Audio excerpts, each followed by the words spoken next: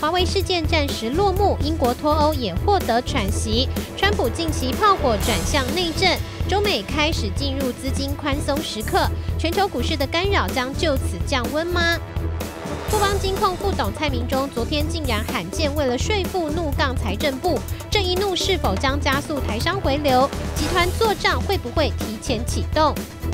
全球启动宽松王道，台股要抢红包行情，内资跟大股东已经开始默默布局了吗？重要关键指标首度曝光。Tesla 力抗美股震荡，股价默默将挑战新高。揭秘创办人马斯克再度出招，如何颠覆市场，赢得投资信心？更多精彩内容都在今天的五期金钱报。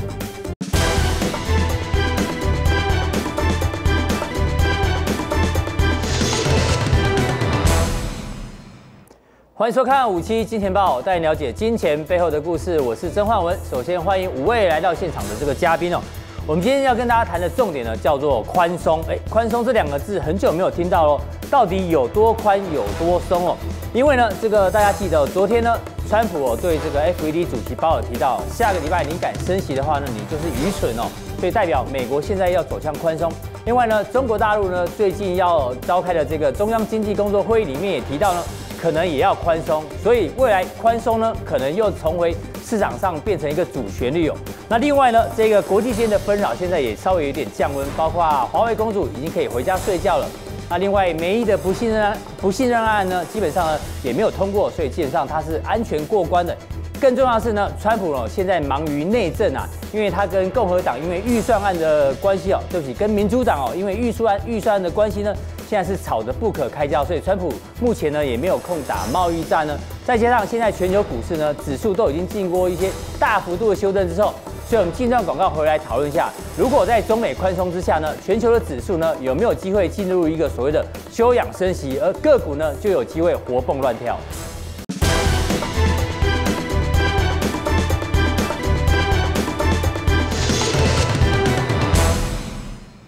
好，美国股市呢，昨天的上涨哦，激励今天亚洲股市接棒演出哦。其实呢，亚洲股市跟美国股市哦，过去呢不太同步，哎，最近又开始恢复同步的话呢，代表这个气氛开始变好。那这气氛好呢，到底可以维持多久？我们待会做讨论。我们先看一下台北股市今天的一个表现哦。今天呢是小涨了四十二点哦，不过哎，量能有放大，这量能是有意义的哦，代表是不是有资金哦持续做一个进驻？我们要做一个观察。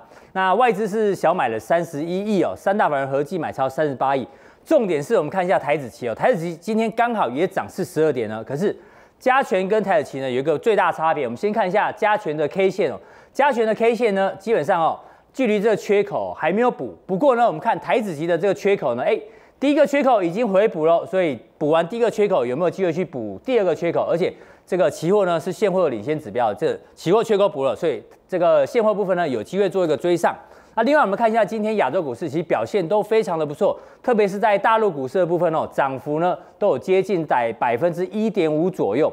那另外再看一下个股呢，哎，今天只有涨四十二点哦，不过呢，既然有高达十七档的股票来到涨停板哦，而且呢，这个不管是高价位、低价位、中价位都有，而且从族群来看的话呢，包括像是呃生技类股，像这个达尔夫哦等等，其实生技类股很多都有涨啊。跟这个非洲猪瘟有关系。另外呢，五 G 的概念股，包括像信华、统芯，哎，股价也表现的不错。另外呢，像这种 KY 股票，代表台商的这个来台湾挂牌股票，哎，最近也热，所以这个台商回流哦，可能还是市场上关注的一个重点哦。不过我们现在请教一下木华哥哦，刚提到宽松，现在是这个中美哦，现在齐心搞宽松，因为经济才是重点。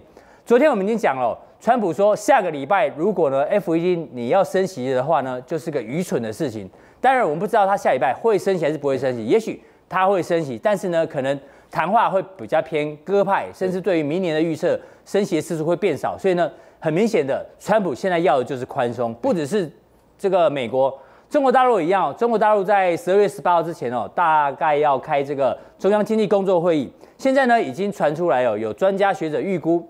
他们会下调明年的经济增长，所以呢，其实有受到贸易战的影响。其实花旗也是这样的认为哦。所以呢，现在想说有没有可能在这个中央经济过会议里面呢，要大规模的减税？那另外呢，持续的降准，甚至要提高预算赤字。所以呢，都是在做宽松哦。是。除此之外，我们再看一下哦为什么国际的气氛变得比较好？因为川普现在很忙啊，忙什么？忙于安内。之前呢是在攘外打贸易战，现在呢安内，因为呢现在哦美国的这个预算案如果没有过关的话哦，到十二月二十一号呢这个可能要关门。那川普呢基本上呢他现在跟民主党最大的差别哦就是卡卡关的地方在于他希望把这个呃墨西哥这个围墙的这个预算一起包裹，可是呢不管是这个众议院的民主党领袖或者或者是这个参议院的民主党领袖，他们都不赞成这件事情。另外，我们也讲到这个，呃，华为公主已经回家了，所以这件事情已经暂时告一段落。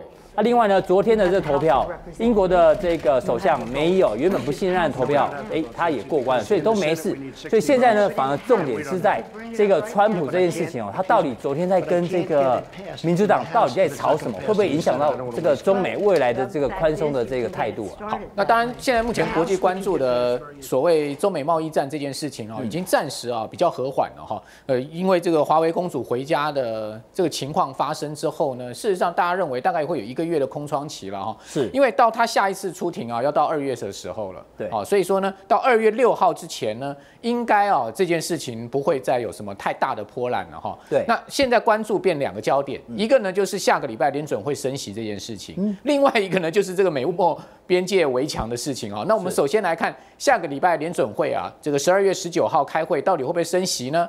现在目前根据 CME 的这个 Fed Watch 哈，它的期利那个利率期货，你可以看到，现在目前这个下礼拜升息的几率仍然高达百分之七十八点四，这样算高啊？嗯，这个算高，但是它已经比先前降很多了，你知道吗？嗯，之前一直都在八十以上了，也就是说呢，最近已经开始渐渐有人压住下个礼拜不升息喽。对，这个是一个非常微妙的情况哦，也就是说呢，原本市场认为下个礼拜升息是铁定刚定的啦，但现在已经开始有人。转向了，尤其在美国股市最近波动这么大的情况下，美国股市最近哦下跌的时候就留下影线，涨的时候就留上影线，所以在这个地方哦，基本上呢很容易哦，就我们讲的 F 这个华尔街哦，在给这个联准会压力啊，没有错啊，这个主要啊为什么会开始转向，就大 K 你讲的这个原因啊，主要是其中之一。嗯，好，那美国的股市哈，从十月以来啊大幅的下跌啊，其实呢。某种情况也给市场啊，也给联准会一些压力了哈，尤其是最近波动非常剧烈哈，所以说呢，当然这样的情况，我想呃不是大家所热见的哈，所以市场开始有点转向。另外一个呢，就是联准会最近啊频频放出风声啊，对明年的经济成长啊已经开始有一点疑虑了。好，所以这个事情呢也被市场认为是联准会货币政策可能转向的原因了。好，所以最主要是这两个原因。那当然，川普已经讲了。那如果下个礼拜联准会还是升息的话，那他就很愚蠢嘛。是，但是他说我能说什么呢？因为我又不是老大，老大是联准会主席，对不对？对。好，所以川普现在很头痛，这是一个他头痛的事情。另外一个鲍尔比较头痛吧？哎，对啊，但鲍尔提名他人希望他不要升息。对，但但鲍尔基本上虽然头痛，但是他还是要做决策。那川普呢，是对鲍尔做的决策呢，他也不能干预，所以他可能怕恐怕更头痛，对不对？好，那另外一个呢，就是川普也很头痛，就是这两天吵得不可开交的事情。对。好，大家看到这个推特啊，这个推特讲什么呢？他说了，他要关闭政府哦。你想看有一个总统说我要关闭我自己的政府部门吗？历史上应该绝无仅有。没错。好，那呃，我们可以看到这个照片哈，就是川普邀请啊，呃，民主党的国会领袖到他白宫椭圆形办公室，大家会商了。对，原本应该是一个和乐融融，哎。都是台面上极为重要的人物嘛，是大家应该都是好好好好好讲，像小孩子在吵架一样。结果啊，就是白宫的实境秀啊放出来，真的是让大家吓一跳。原来白宫在瞧事情是这么激烈，对啊，可以看到川普坐这边，然后呢副总统坐这边，然后呢这个是谁？这个是南希佩洛西啊，好，他是民主党的呃众议院的领袖，好，另外一边坐的哈就是民主党的参议院的领袖，就是查克舒默，好，他们就在开始。瞧事情了，瞧什么事情呢？瞧美国开支法案。好，那川普就一开始就放话说什么，你知道吗？就对这个南希说啊，他说啊，我要关闭政府啊，如果你们不给我围墙，我就要关闭政府。哇，这个讲的非常火。结果呢，你知道南希马上冲他什么？你知道吗？他说啊，哎，你不希望被称为川普停摆总统吧？哦，他直接帮他下一个名字。对啊，他就说这个 Trump shutdown，好，他就英文是 Trump shutdown。他说你不，你你就。川普还说，哎，好像还没有，他好像没有听错的感觉。你怎么叫我这样？他还头这样一转。我们看这影片，其实哦，这个你刚说南是南希，南希对啊，南希在讲话过程当中，其实川普不断的一直插话，一直对在插话。因为南希就讽刺他嘛，说你要被叫成这个川普停摆总统嘛？川普还以为他听错了，你知道吗？哦，他后来才回过神来，原来他才发现是南希在求他，你知道吗？对。结果呢，两个人讲一讲，非常不爽。哦，不爽，后来怎么办呢？哦，那川普就把炮火啊，就改到这个苏墨这边去了。他叫他查克嘛，他叫查克舒默。他查克那个舒默就跟他讲说呢。我跟你讲哈，你要确保政府不会停摆了，我们就是要求你这么做了。他就查克下命令了，哎，然后他用极为强烈的手势哦，直接跟川普讲，你看川普一个很不屑的脸，没错啊，说我就是跟你讲，你绝对不可以让政府停摆。川普就一直插话，你知道吗？结果这真的很难想象，一个总统跟这一个国会的领导人，对，像小朋友一样在那边斗嘴，是你是你的错，是你的错，对，两个人就是针锋相对。然后呢，他。他在讲说，他一直插话，然后插那个插那个苏墨就讲说，Let me say something，对，让我讲，我还你在你在说，有点像台湾的争论节目在吵架那种感觉。我觉得川普这感觉很像他之前在主持那个谁是接班人，对，也是那种就是最后那个会议桌上到底谁要被 fire 掉，他跟那个要被 fire 的人那边唇枪舌战，那那个就是这个样子。那个白宫实境秀真的非常精彩哈，所以很明显，川普现在就是忙于安内啊，对啊，这个安内的问题更让更让他头大。所以我看到这个十二月二十一号，美国政府关门可能是铁定了。哦，你觉得有机会？那现在估计大概会有四十万美国的政府员工啊，会暂时的、暂时的这个休息。好，那四十万里面，其中四分之一十万是什么部门？你知道吗？最大的这个要休息的是美国的国税局。国税局 对，因为现在不是报税季节，所以你们全部回家休假。哦，是啊，那其他各部门都有或多或少的人要休假。那当然这个是美国的问题，另外一个欧洲的问题就是梅伊。美伊虽然过了啊，这个保守党内乱哈，因为这次的不信任案是保守党他们自己提出来的，好，那虽然过了这一关，但他下一关能过吗？因为我们刚刚讲美国政府关门是十二月二十一号，那下个礼拜他就遇到一个大问题，就是欧盟峰会，哦，十二月十三号跟十四号，好，那欧盟峰会势必要讨论英国脱欧，那以及梅伊自己讲说，国会再怎么样延迟投票，也也绝对拖不过明年一月，是，好，所以说呢，明年一月。一定要有一个水落石出啊！同时呢，明年三月二十九号就是英国脱欧的最后期限。好，所以说呢，时间上已经非常紧迫了哈。哎，茂哥，我以为只有台湾的这个政治人物会被模仿，或者川普会被模仿。对，我昨天看到影片，我也吓一跳。这个梅伊啊，他也被模仿，他被演那个魔镜里面那个咕噜，对，咕噜去模仿。大家有机会可以看一下那影片，模仿的是惟妙惟肖。是，这。模模梅伊其实现在头很大，那中国大陆怎么办？嗯，中国大陆现在呢要忙着要过年啦，是啊，过年大家就要钱，对不对？过好年啦。哎，我跟各位讲，现在头最大的是什么？年关将近啊，哦，大陆的房企要筹钱，哦，这个我们讲大陆像 A 股大概有一百多家上市的房企，对不对？是，好，那个我们来看到前五大房企：碧桂园、万科、恒大、保利跟融创。创，大哥，你看那个负债多可怕！恒大的负债是六千七百亿啊，人民币啊，营收营收才三千亿，好，那它的负债将近七千亿，对，碧桂园将近三千亿人民币的负债，万科将近一千八百亿的负债，全部都大于他们的营收哎，而且是非常可怕的大，实在太高了，他们的营收，所以最近中国大陆也要搞宽松，好，所以说呢就开始啊，让这些房企啊，就用各种方式去筹资了，对，那据说十一月啊，总共让房企筹了超过五百亿人民币的这个资金进来哈，主要就是要让他们过年舒缓一下这个资金的压力。所以木华哥前几天在节目中有讲嘛，中国大陆的房市千万不能垮。对啊，他们如果他又听到了，如果他又遇到房价下跌、销售减速的情况，那这些房企怎么办？他的现金流流量怎么怎么去支应呢？这个 cash flow 呢？是，所以就变得非常的这个困难的一个情况。所以我想现在中国大陆啊。呃，为什么对美国要摆低姿态？好，就在贸易战上面呢，尽量不要跟美国针锋相对了。哈，这个摆低姿态，即使公主被抓在餐桌上面也隐忍不发。最主要就是他们的经济跟金融的问题了。对，好，那当然在这样的一个情况之下，只要国际啊不要出大乱子，哦，那你内部的问题出大乱子，然后又。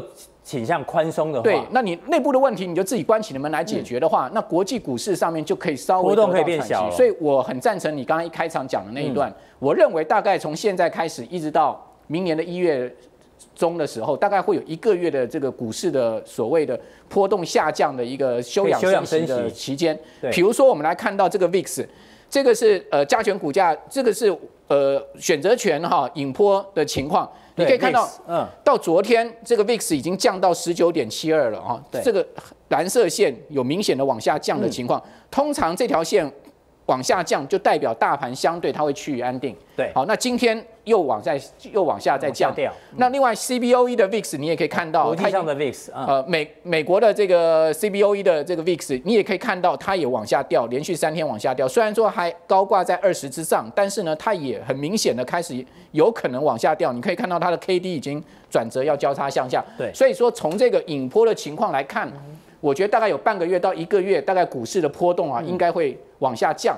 那这样子的一个情况之下呢，也许指数没有太大的空间，但是个股一定会有它不同的表现。没错，好，这个中美哦，既然要宽松的话，代表这个指数哦，可能波动不会这么大，大家可以休养生息。不过呢，个股部分呢，或者说这个基本面好的股票就有机会哦。不过我们先看一下，回到国内，因为既然国际的纷争是变小的话，我们把重点回到国内。国内的话呢，这件事情啊，一定要拿出来讲一下。大家都在看这吴宝春，吴宝春哦，那事情大家听到有点腻了。重点是这个蔡明忠哦，富邦集团董事长他说什么？大家不要忘了，他是一个你看就是一个斯文人哦，而且他讲话的这个拿捏精准度非常好。大家可能忘了之前那个陈水扁时代啊，吴淑珍还曾经推荐说，哎，蔡明忠可以当财政部长哦，所以表示他是一个这一个这个我刚提到他是一个运作非常这个细腻的人哦。但重点是，他最近讲什么？因为台湾最近的这个税收啊，大家看一下，今年预估哦，税收会超增六百亿。在这样的前提之下，他说现在呢，我们台湾哦还在追税。他说现在最大问题呢出现在财政部哦，好，财政部呢是用追税的心态在看产业创新跟这个产业的回流。其实蔡明忠讲了一个重点，他说现在台湾最需要的呢就是产业创新跟台商的回流。你税这么高，基本上呢对于台商回流是一个很大的打击哦。他甚至说。不要再找这种税务出身的人当财政部长哦。那以前的这种奖励投资啊，都已经没了，两税合一也没了，所以你现在还在追税。他讲到这个重点哦，基本上请教一下这个修丽姐哦，大家都在想说这个两岸问题哦，只说吴宝春也好，但是呢，蔡明忠提到一个重点，这个问题哦，台商回流的问题不解决的话呢，其实台湾的基本面可能未来会看绿，你怎么看？啊，的确，第一个我们要看这一位。呃，他其实并不是为了他的富邦来讲话，所有的内容其实都是身为工商协进会副理事长这样的一个高度在谈话。那我们相信台湾最需要的就是面包，就是经济。对，所以有一个比面包更大的面包，全台湾最大的面包其实就是台商回流。嗯，好，所以如何来创造这个台商回流？那我们来看一看，是我们的政府为什么不能够提出一个共识，就是说，哎，我们也同意。资金要回来，那也希望台商能够回流。那你的立场坚定好嘛？你让他们有那个意愿回流，对，然后也有这凝聚一个呃民间跟官方的一个共识。我想这是比较重要的。好，这个蔡董事长刚点出税的这个问题哦。不过我们来看一下哦，这个行情的部分，其实哦，其实有开始变热。为什么呢？我们说这个大军位置哦，粮草先行。我们看一下这个第一个粮草，大家看一下加权跟贵买的量能哦，哎。都创下连续两天的这个温和放大，所以哎，有资金确实再回来。虽然蔡明忠这个董事长对税不太满意哦，但是呢，确实哦，还是有粮草先行啊。那另外呢，最近大家说外资在卖超，在卖超，可是外资哦，七个交易日卖超了五百五十亿，基本上钱并没有汇出去，它只是 parking 在这个债市的部分，所以钱也还在。另外呢，第三个粮草在集团股，因为最近集团股其实表现很不错，特别是这个郭董去买了红海之后，其实最近红海的集团股票也开始。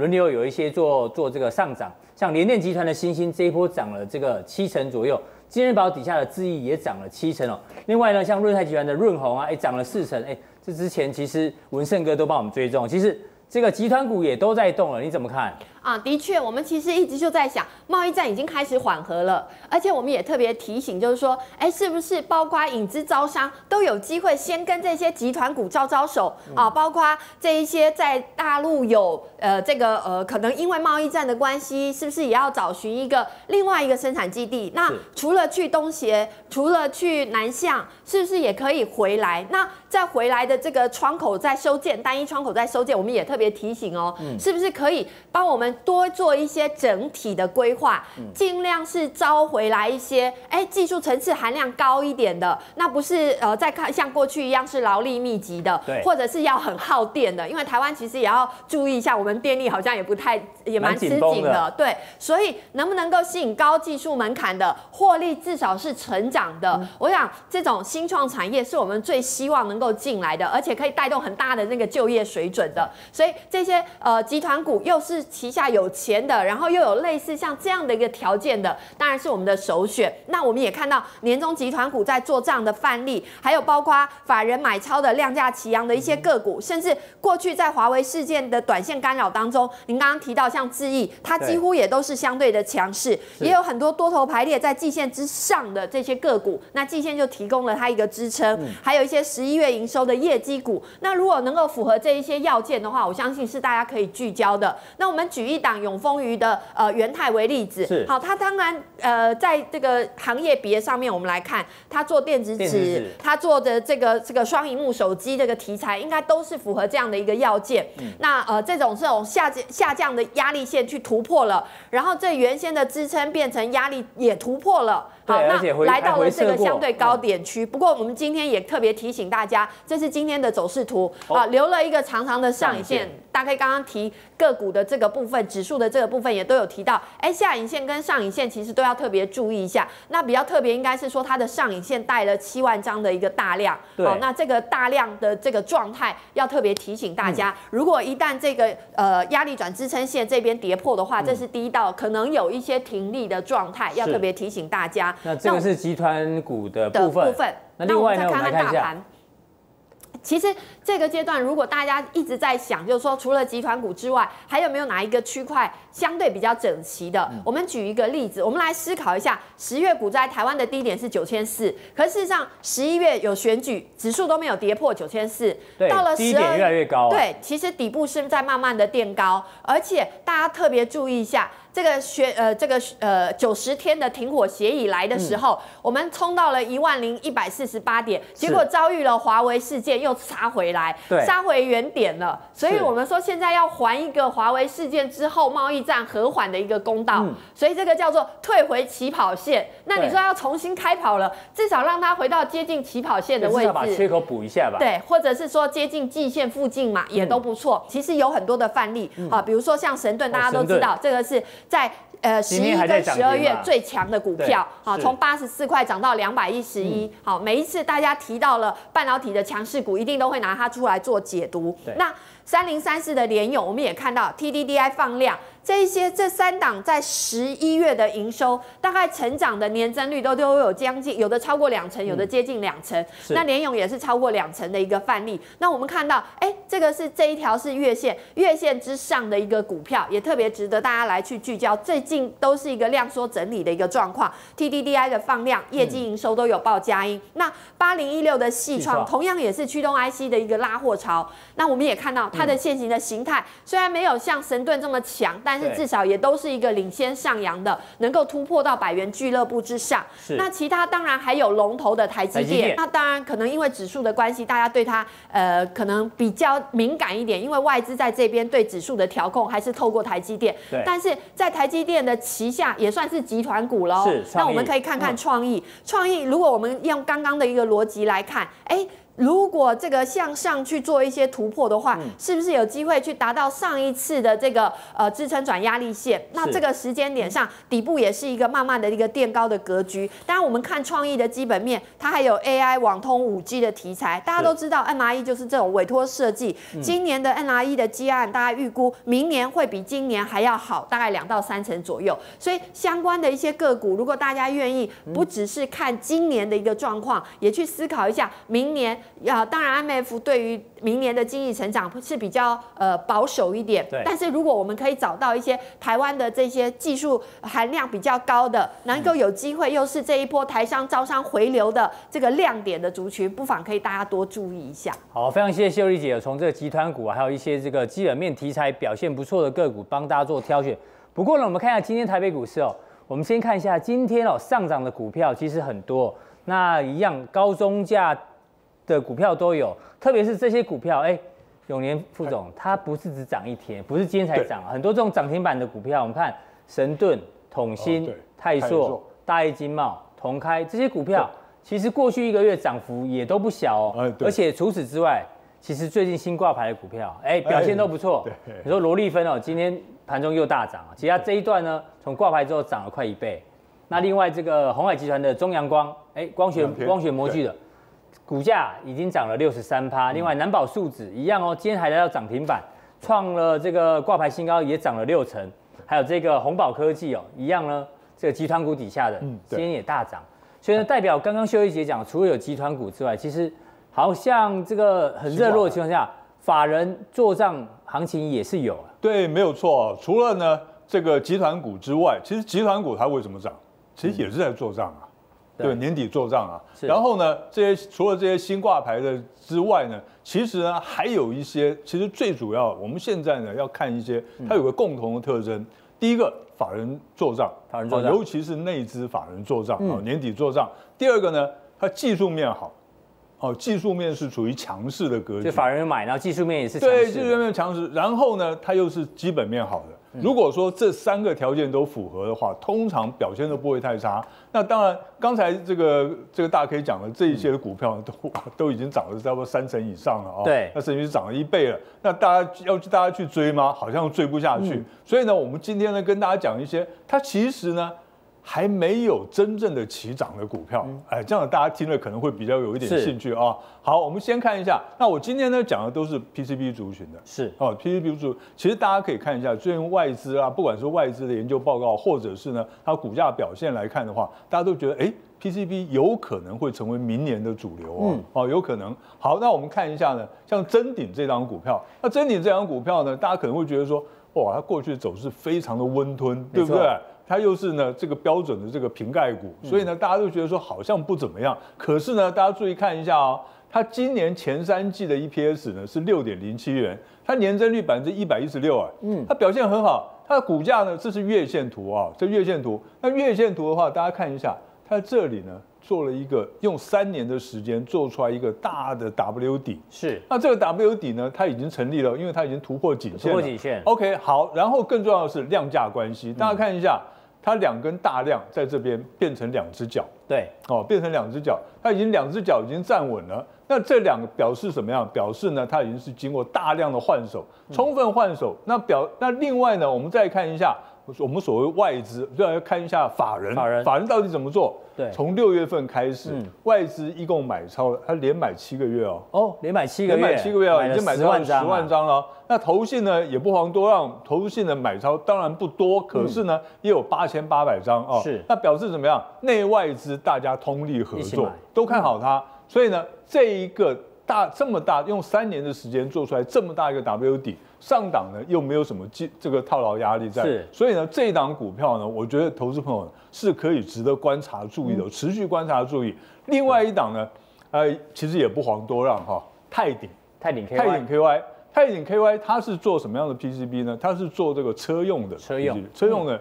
那这大家要注意一下，现在呢大家比较呢这个专注在什么？像是这个新兴啊，像是南电啊，对，因为最近比较强，哎，这比较强哦。那么大家比较不会注意到车用的这个 PCB 板，其实啊，我告诉大家，我认为，我个人认为了，但不代表这个本台意见啊。那我认为，其实呢，真正的这个蓝海哈，这电子业的蓝海是车用的电子，绝对是其中之一。你说未来未来的绝对是其中之一。那它呢是专攻这个车用面板的。好，那这个车用的 PCB 板，那我们看一下它的这个 EPS，它的这个基本面有没有大幅度的成长呢？大家看一下啊。它前三季的 EPS 三点九元，年增率是多少？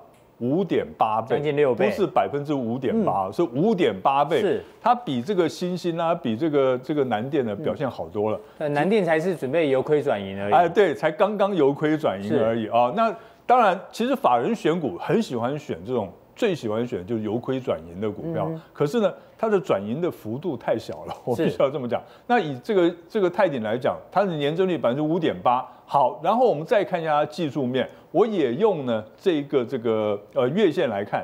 那月线呢这边做出一个圆弧底啊，这边做个圆弧底，然后大家看到没有？它的历史的大量全部在现在的低档区，它在这里呢连续拉出两个月的长红之后，整理了四个月，这边做了一个收敛哦，哎，收敛三角形，而且呢，它这个已经呢到了一个顶这个尖端了，嗯，那尖端的时候，大家可以看一下，在盘整的过程之中，哈，它是量价配合，价涨量增，价跌量缩，这个是处于一个多头格局的整理，嗯。其实大家在每次呢，大家最怕什么？最怕的就是碰到盘整格局。对，因为盘整格局你不知道它到底是盘整还是上还是下，对不对？其实我教大家一个非常简单的办法，就是你去看它量价配不配合。涨的时候要有量。涨的时候有量，跌的时候呢量缩，就变成量价配合，对不对？价涨量增，价跌量缩，量价配合就表示怎么样？它是处于一个多头的整理格局。是，接下来只要再一出量，它就有机会突破这个盘整区。它有没有机会突破呢？我们看一下。十一月份呢，外资买超七千九百五十五张，投信买超一千三百张，加起来呢，投一共买超九千张。那虽然十二月看起来哎有一点点的卖超，可是卖超的张数才几百张而已。对，跟十一月呢完全没有办法比啊。那而且呢，它的券资比现在是二百分之二十八点七，百分之三十以上就有嘎空的机会了。是，所以它的筹码面呢，它现在只要稍微一拉，一定有人去空它。哦，那所以呢，以它的筹码面、技术面，还有呢它的基本面来讲，我觉得这一档股票呢，更是可以值得观察注意的。好，谢谢永年副总。不过我们来看一下另外一个重点哦，其实呢，这个台商回流的专题，我们一直帮大家做追踪。我们今天帮大家再整理一下台商回流呢，这个主要分为三部局，从最上面的资金，再到土地，再再到人才哦。像资金的部分呢。这个上市柜大陆投资收益呢，光上半年已经汇回了四千两百二十六亿，比去年全年一整年都多了三百多亿，所以资金确实有回来。那另外呢，在土地部分呢，我们之前也做过，也是跟这个文胜哥一直在做追踪哦。工业地价呢，有些已经狂飙了五成。那新北市一平啊，听说这个工业用地涨到一百万，连现在高雄最最夯啦。另外一个亮点在高雄，高雄的工业城的透天厝啊，也涨了六成。那另外呢，再下一道人才，人才的部分呢，大家看很明显，像竹科哦，也提早引爆这个缺工潮。自行车这之前我们也做过专题，自行车缺工至少三百人。那另外呢，政府也因应台商的回流，所以外劳要你要松绑，所以很明显哦，这个台商回流的三部曲目前一一在发生。不过现在亮点好像。高雄越来越热，你怎么看？对哈，那个我们知道，任何商品的上涨，人跟资金，它一定扮演的相当重要的一个关键。明年的强势股绝对跟今年一定会有一点不一样啦，哈。操作的股票要懂得顺势跟掌握节奏，嗯，顺势跟掌握节奏，我们来看下一页啊。什么叫顺势呢？我们看到，对，很明显，人进来货出去，这就是顺势了。哦，这是个文胜哥这张哦，一直帮我们不断不断的累积哦。我们看一下上个礼拜你讲花仙子，花仙子的股价来，我们看一下，哎，上礼拜讲的哦，大家自己去看。哦，上上礼拜，对不起，上礼拜是金彩科。哦，金彩科，我们看三五三五的金彩科也一样哦。哎，怎么股价都这么厉害啊？另外，之前像二五九七的润红嘛，润红股价也哎。怎么到今天都还在创高？我想过去的选股真的过去的蛮特别的，过过去的绩效不保 不表示未来的活力。其实我们其实这就是顺势，这就是节节奏，人进来货出去，钱才会进来嘛。对，好，那另外当然就是代表的年轻世代，其实啊从韩流的这一股气势，其实我们也感受到了。其实再把它拉回到高雄这边来看，从各个的一个大集团都要往那边来做一个设厂的动作。对，啊。那你想想看，这些设厂是不是工人人就进来，人进来之后，外面的建商就会开始开始开始盖这些住住宅啊等等。没错，像像其实我们公司自己有办一些参访团之类的，明年我们规划要参访哪里？哎。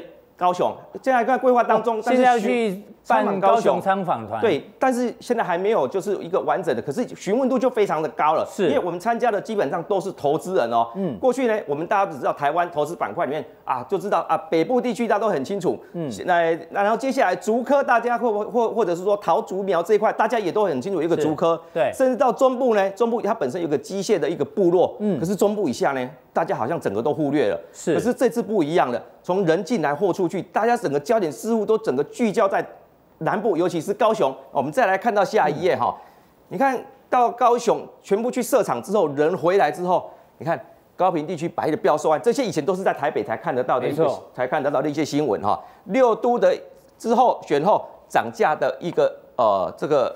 件数呢，嗯，其实都是成这个三位数的一个调涨。好，再来看到我们再来比较台北跟高雄的房价，这边最高台北是三百万，三百万，好，高雄这边比较贵的爱河旁边的金金城的金城凯悦四十到六十，其实这边大概是景美哦，大概二十年这个电梯大厦的行情而已哦，差这么多，差非常的多。高雄的房价还是算是处女地啊，算是处女地，因为台北已经涨了二十二十二三十年了，高雄、屏东这些是跌了二三十年，是刚好一个是在天花板，一个是在地板，所以我们从这个角度来选股，再来看下一页来看的话，啊，这是。盖在这个爱河旁边的金城海一平开价四十到六十万，最近股价涨了，这样是真的很漂亮，对，真的。很漂亮。那这台台北绝对不止这样的这个行情的，最近股价涨了七成。其实我们在还有还是有很多啦，这种还是有高雄在地的在地的建商，因为过去大家都是看到台北的建商赚大钱嘛，在台北。对对对，现在你你稍微要把可以把大家不会把眼光往往往这个南部移了哈。高雄一在地的建商像连上，连上啊连上，其实它的我们通常用存货，存货就是它的土地啦，对，占它成股本的大概有三倍，表示它台北的土那个那个高雄的土地。呃，大概我们大概打电话问了一下，大概有九千平以上，而且都是在精华地段。那看一下它的一个过去，它因为它是这个私募进来的，当时的私募的一个价格是十六点七，而且又办了一次现证是在十七块，现在的股价是在十二块，而且它是每年都赚钱哦，不是不是有亏损哦。之前的私募价格。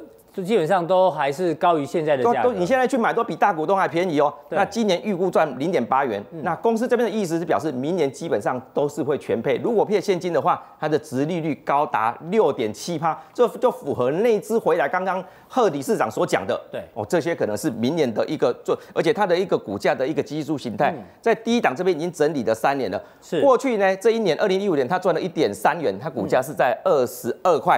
对。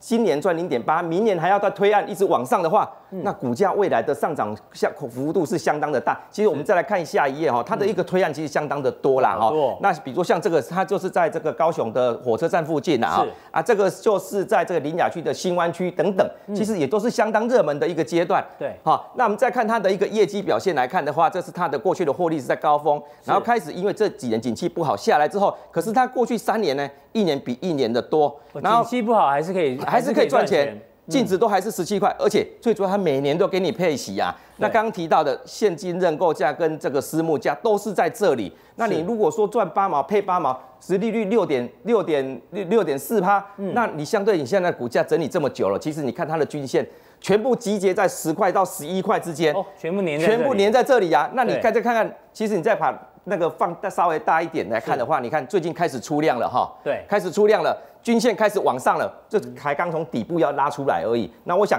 现在既然大家都把资金往那边去做投入的话，你只要有业绩、有高值利率个股的一个低价股，尤其这些没有被大家发现的，法人也都还没有。对，那我想，这是你提前卡位的一个很好的一个标的。好，非常谢谢文胜哥。文胜哥每次都带来这个大家没有注意到这种未发掘的这个股票。这个虽然没有涨停哦，但是呢，慢慢涨，有时候涨不停比涨停更美丽。不过下一个阶段，我们回来讨论一下，这个全世界的股市呢，可能有机会进入一个休养生息的阶段。不过有一档股票呢，从来不休息哦，就是 Tesla。Tesla 的股价呢，一路的创下波段新高之后，到底怎么做观察呢？新段广告马上回来。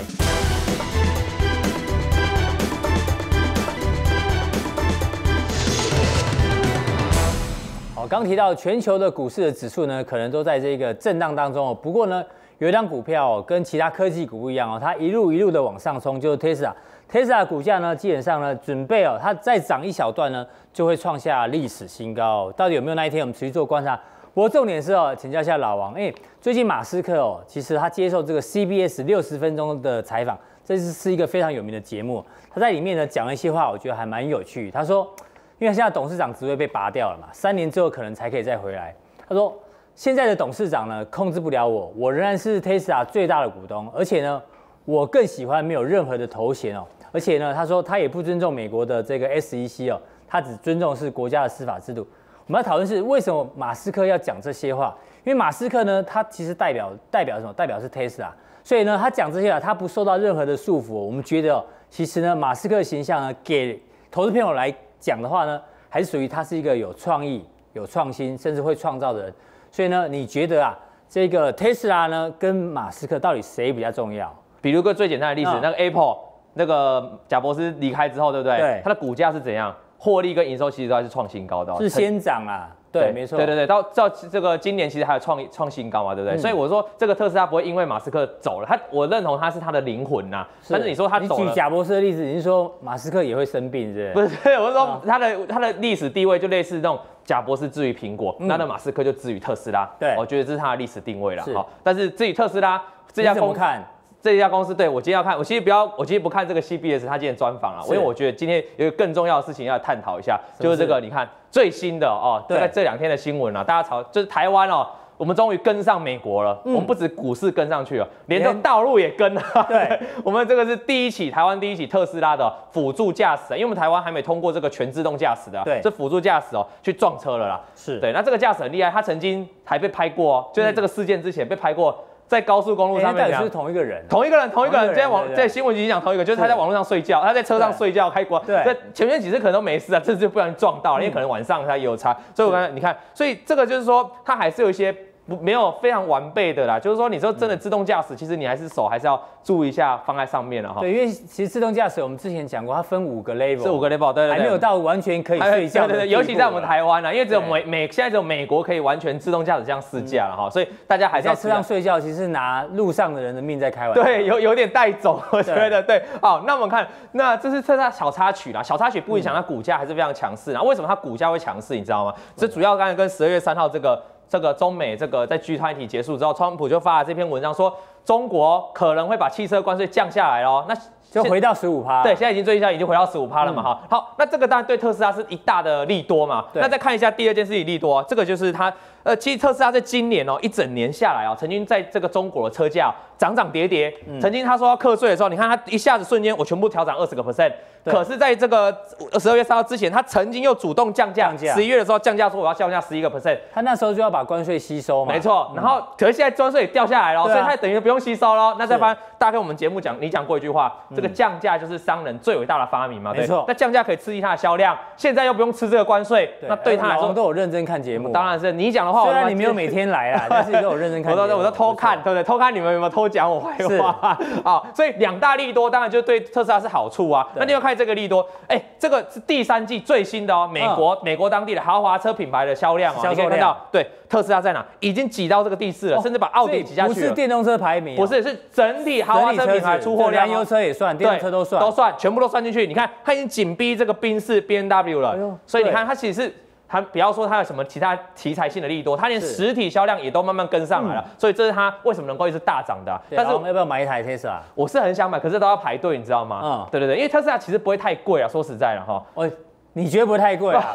你被网友骂死了。哦，我就觉得还可以啦哈，还可以，就跟豪华品牌，那比如说，那我就觉得说，其实特斯拉到底好不好，我们不要讲太多，因为我们不是专业的车车手嘛，对不对？嗯我们不要，但是车手对对我可以提供一些我个人的看法啦，是就产业，我我是认为说特斯拉短期它非常强势哦，这是这不用质疑，因为我们技术派就看技术线型好，待会你解解一下 Tesla 对，现现实实。。但我现在先讲产业面，就是占我整个大未来啦。嗯我认为特斯拉它未来会面临到三五三四年后面临到最大的问题就是什么？你知道吗？就品牌。就是说这些宾士哦，跟这个奥迪跟这个 B N W，你看他们自己都开始。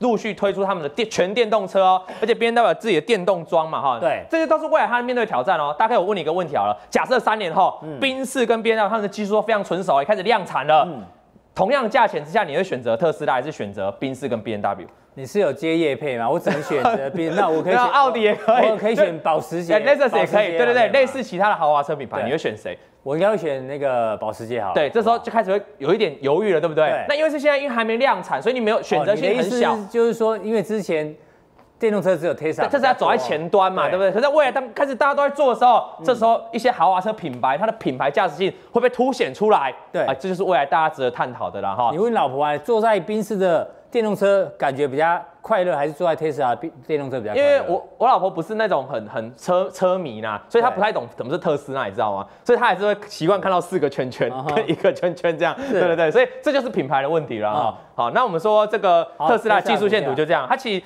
我们讲过，上次我们在这边讲过，它其实天花板，大家观众也自己会画，就画一条线，就最高的天花板就好啊三百九嘛，嗯它其实一直没有突破嘛，所以说什么时候特斯拉会来一波大的涨势，就是把这个三百九突破嘛。突破之后就变成底部了。对啊，不然每一次就是我们常常教的，每一次来测试前高没过就是假突破了哈。是所以这一次也越来越靠近了哦，大家可以注意了啊。那如果短线支撑的话，就在三五一点六，在这个地方了哈。那这个地方的话，你看它重复测试这个十这个几个月的低点啊，这个低点在二四四这边。好好标准哦。而且你不觉得这个测试低点就跟美股非常像？美股倒穷就是一直在反复测试十一月的低点啊。是所以如果有机会低点守住，其实美股也是有机会反弹上来啊。所以大家可以观察一样哦。你看美股十一月低点嘛，画一条线，其实就很像啊。对好，很像，那就注意这样，特斯拉大概是这样解。所以短线还是非常强势的哈。那概念股嘞？概念股的话，我需要先问大家一个一个问题哦。概念股有分，这你知道什么是直接跟间接的意思吗？没有，看着白板我就不喜欢，为什么要白板？为什么？对因为这有台的白板嘛。哦，没有，你把有台白板拿过来哦对对没有，我们主要是问什么是直接跟间接。直接跟间接其这样，就如果你在电视上直接看到老王讲股票，直接拿到这个名牌，这个叫直接。直接。那如果你透过第三手的媒体转述，或你的朋友用对奈拍老王的照片，然后再传给你说，哦，这一支名牌，那个就叫间接。哦哦，那概念股的话也有直接跟间接，对哦那个效果就差很多了哈。我们可以看老王，，你是间接的受害者吗？我我算是间，我算是间接受害者，对对对，因为你你的东西不是在网上会传来传去，传来传去，我是很很间接，我我很困扰，对不对？那希望大家来看政党，就每天把五五期金钱包打开，可以看到最直接的啦。对，好，那么我现在看哦，直接的有两档，就是说直接有出货给特斯拉的哦，嗯是特斯拉真的上面有装它的产品的啊，直接的直接出货，直接有订单的哦，这个就是第一个茂联，这大家应该知道嘛哈。那你会发现，其实最近特斯拉概念股没有特别的强哦。那茂联为什么可以这么特别的强哦？为什么其实有一句话。古来冲阵，福为子啊，啊，哎呦福为主啊，是只有常山赵子龙啊，这什么意思？什么意思就是说。这个为主，就是说这个特斯拉在概念股岌岌可危的时候，这档股票为什么能够一直往上冲？因为有赵子龙赵子龙，哎，对，就是这样。哇，赵子龙真的很拼命哦。你看谁是赵子龙？赵子龙是谁？就是台湾摩根士丹利，他买超啊，你看近期哦，买超快两千张啊。对然后你可以发现，就是量是怎样，大概股价一直涨，量是在缩，哎，那没有什么在买了，你知道吗？就只剩谁在买？只剩长山赵子龙在买啊。所以你要各位你要注意啊，以后这个长山赵子龙，他就继续买，他就继续创高，没问题。是如果他哪天不买了，对以这个成交量，那可能就要来一个回档了哦，你要特别注意。那都继续买就没问题哦。那什么时候会转强？什么时候市场的量会进来？突破前高这个二一六市场追加量的价，目前还没突破了哈，可以做个观察。那大量支撑在一八七啊，给大家做个参考。那另外一档就是我们的和大，和大也是直接拿到订单的嘛。是我刚才讲了嘛，其他特斯拉没有特别强啊。你看这概念股，这有强吗？不强哎，对还在横盘哎。为什么？因为它没有怎样，它没有长山赵子龙。你看它外资是持续在卖超的哦，买买卖卖，没有特别的明显买卖了哈。那短线短线就大呃长线都大概大区间一百四到一百一十四一个区间震荡了哈对。你可以继续观察。那短线就是一三六到一二零这边做区间，其实它很难操作，为什么？你看这个量价累积图，它全部大量叠在压力耶这个它反弹一下就下，反弹一下，所以没办法了。所以这档你可以暂时观察就好了啦。对那看下一，我再加介绍两档间接的，间接的间接就是它有出货给第三个品牌厂，然后这个品牌厂有打入这个特斯拉供应链的并不是它直接拿有订单的，比如像昌兴，昌兴就做这个扬声器的元件哦，打入这个特斯拉。它最近哦，你可以看这个量大支撑区已经突这个人整理了很久，然后突破开始急涨嘛，对急涨之后做一个震荡啊，你看大量支撑在这边哦，二百呃，当然在在这边。